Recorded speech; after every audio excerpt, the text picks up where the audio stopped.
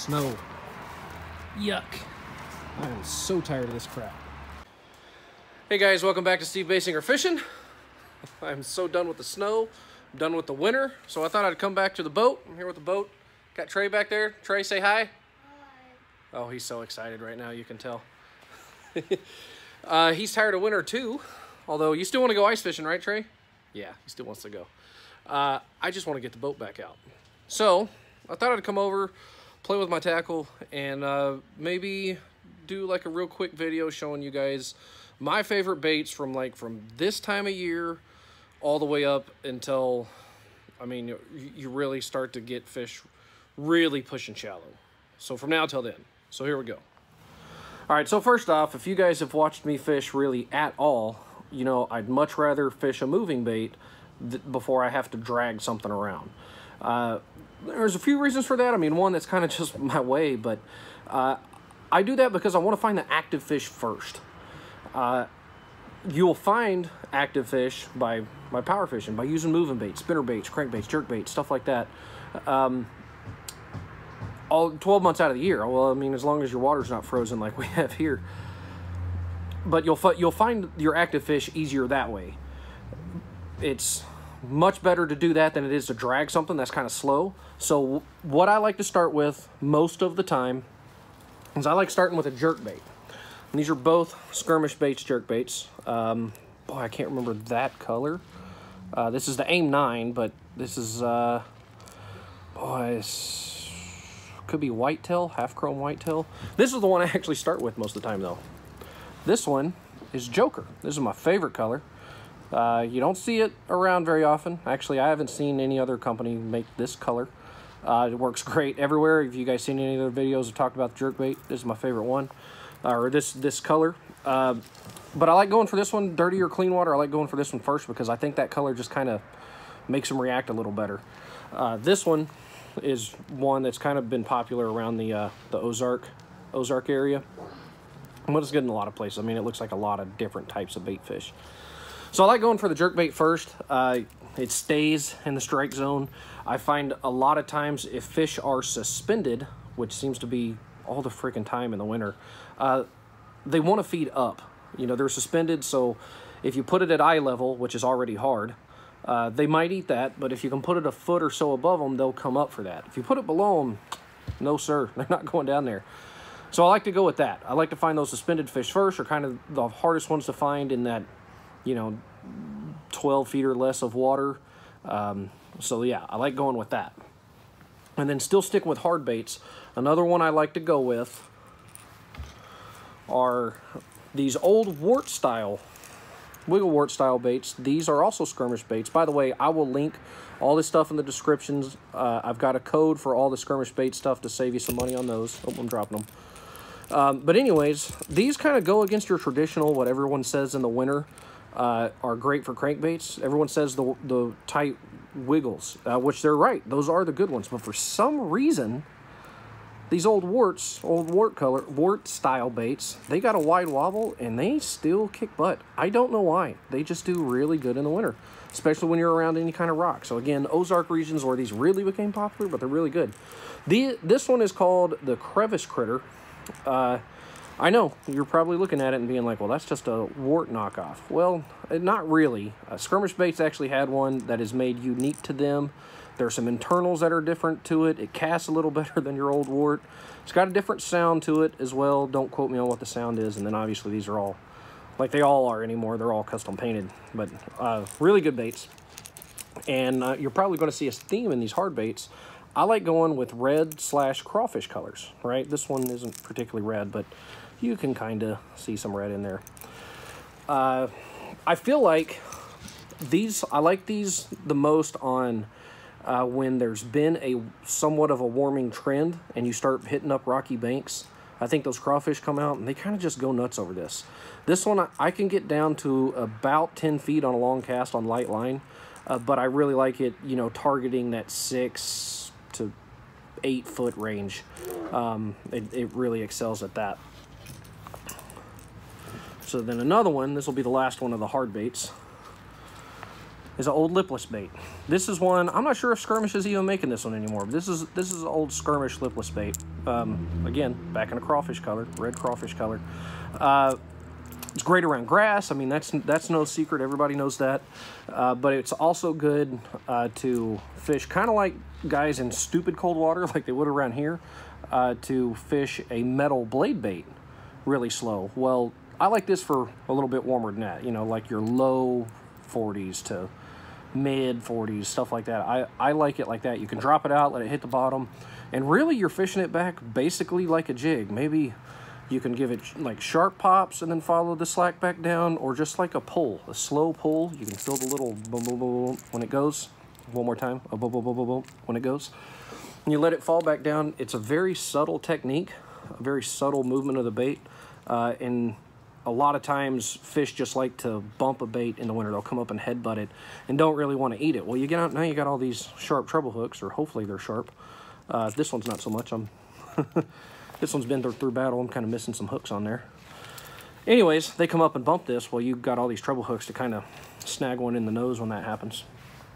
So, uh, now uh, we'll move on to, I'm still power fishing, but I'm doing it a little bit more finessey way at this point.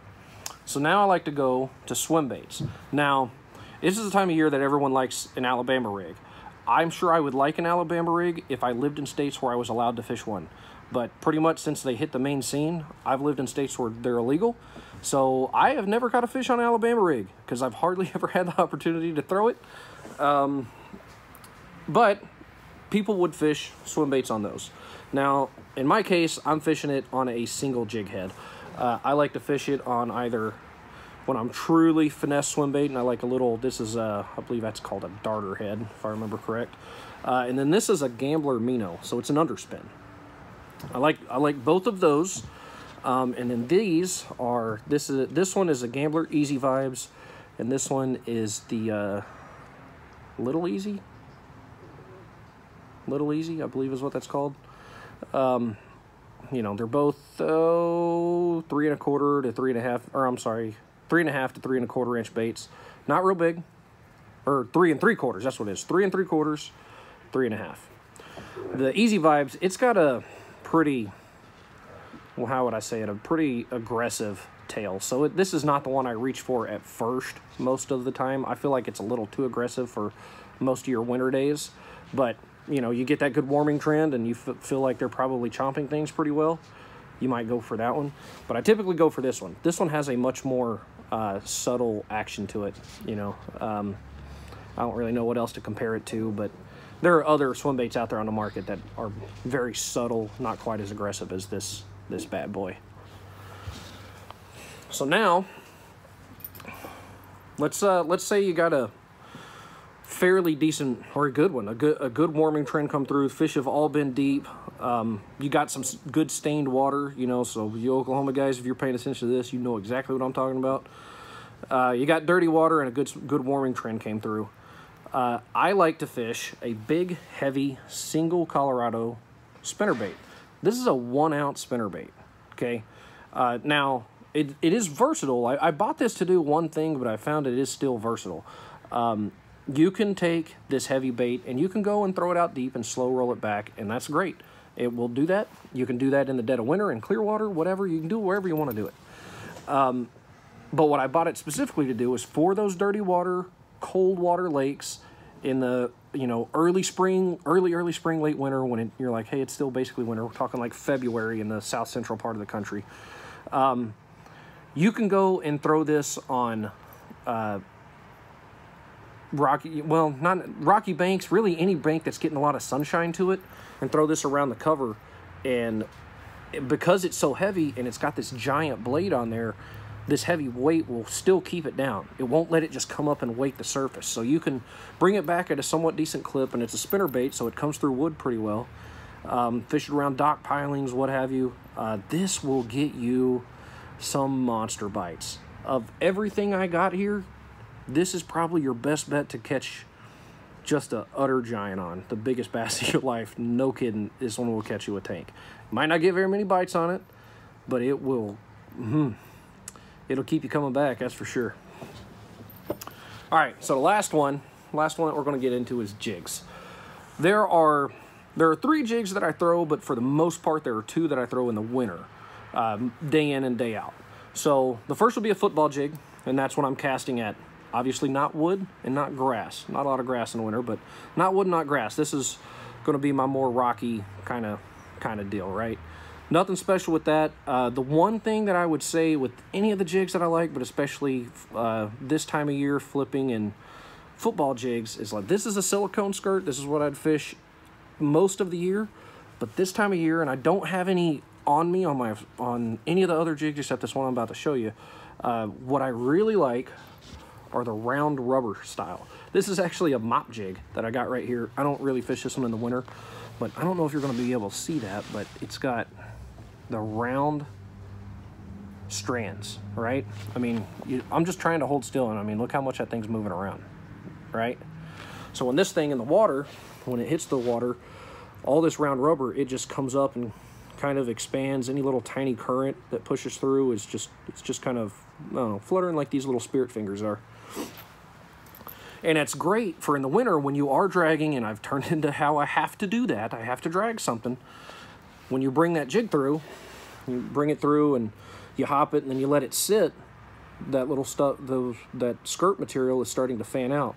Whereas the regular sil silicone kind, it tends to just kind of fall down. You know, it may float a little bit, but it tends to just kind of fall down and then your trailer's the only thing showing. The living rubber, it will move. Hey, it's great in the summer too, don't get me wrong, but I think it really, really shines in the winter because it is working for you. You don't have to work that stuff. So, football jig, and then I also like a finesse jig, right? I like one that still has a heavy hook to it though. This one, don't ask me what company this is, I don't remember. Uh, but it still has a heavy hook and a good weed, weed guard so I can still fish it through wood. Right? Because that's going to be a lot of stuff that you're fishing. You know, maybe I'm fishing around docks or something. I mean, a lot of us, it's winter, but that the lakes that we live on doesn't mean the fish pulled out the 50 plus feet of water. You're still fishing a lot of the same area you did in the spring, but the fish are just, you know, they're more lethargic. You're still fishing docks just like you did in the summer or in the fall or what have you. This is still great around that. You can still fish that. Um, you're just not fishing it as fast. Maybe you go down in size, you know, where you were fishing a half in the summer, a half ounce in the summer. Maybe you drop down to a 3 eighths or a, or a quarter or so. Now for trailers for those jigs, I go with two types for the most part. Uh, these are both Gambler trailers. Uh, this is a just a, a double tail grub. Uh, and then this one is a uh, Gambler Flappy Daddy, right? So you don't have a ton of stuff going on with these trailers. Now, if you've watched any of my other videos of me flipping docks in the summer, I'm still using this one a lot. This It's just a very versatile, versatile trailer. It comes in and out of cover really well, so it's probably why I like it in the summer too but um, it doesn't have a ton of really just kick like crazy action to it. Um, and the same thing with this one, like these ones aren't going to, oh, I'm sorry, these little grub legs, they're not going to thump coming through the water. Really just any little kick or bump you give to the bait, they just kind of twirl a little bit. If you've ever seen a sickle tail or a ribbon tail worm, if you've stuck it in just a couple inches of water and seen what it looks like when you move it through, you don't got to give it a whole lot of movement and that tail will just it'll turn. Well, these are the same way. You don't give it a whole lot, and they, they will move on you. So that's pretty much it, guys. Um, I'd like, drop any comments down below. What, what are your favorite baits to throw this time of year? Uh, I'm always looking to learn some new stuff. Uh, sadly, I live in the part of the country where we get frozen lakes for a while, so uh, by the time our water comes off, we've got about this much uh, like dead of winter fishing and then it's straight into pre-spawn and then man the spawn is here like immediately some of you guys already have the spawn where you're at you i'm so jealous of you guys i don't really like you that much so anyways thanks for watching. Don't forget to like and subscribe. And um, see you guys on the water